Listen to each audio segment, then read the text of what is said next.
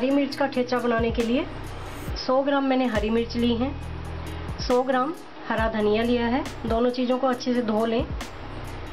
एक चम्मच तेल, नमक टेस्ट के हिसाब से लेंगे।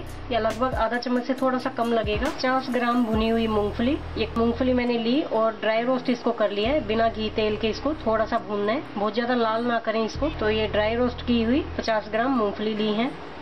आधा चम्मच नींबू का रस लिया है। ये ऑप्शनल है। अगर आप खट्टा पसंद करते हैं तो डाल सकते हैं, वरना अवॉइड कर सकते हैं इसको। और ये पाँच से छः कलियाँ लहसुन की ली हैं और मोटा मोटा काट लिया इसको। अब मिक्सी का जार लेंगे और इसमें डालेंगे हरा धनिया। साथ में डालेंगे हरी मिर्चें, लहसुन। और अगर लहसुन नहीं डालना चाहते हैं तो अवॉइड कर सकते हैं लहसुन को। नमक। साथ में डालेंगे मूंगफली, भुनी हुई।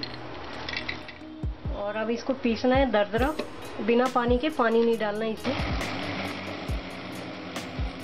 चलिए चटनी हमने पीस ली है। और मैंने बिल्कुल पानी नहीं डाला है। ये देखिए, इस तरीके से पीस के तैयार हो जाएगी। और अगर आपसे पीसने में दिक्कत हो तो एक दो चम्मच पानी डाल के आप पीस सकते हैं। तो चलिए, गैस ऑन करेंगे अब। एक पैन रखेंगे। और इसमें डालेंगे ये तेल। जैसे ही तेल थोड़ा गर्म हो जाए, इसमें डाल देंगे ये पिसी हुई चटनी।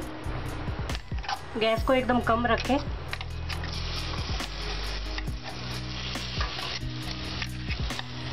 और एक बार अच्छे से इसको चला लेंगे। अच्छे से मिक्स करने के बाद में ढक्कन लगा देंगे और दो मिनट तक एकदम कम आँच के ऊपर इसको पकने दें चलिए दो मिनट हो चुके हैं। चलिए ठेचा हमारा तैयार हो गया। गैस को बंद कर देंगे। गैस बंद करने के बाद में डालेंगे नींबू का रस।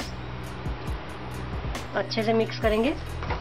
और इस स्टेज पे आप एक बार चख लें। अगर नमक कम लगे तो नमक ऐड कर सकते हैं इसमें।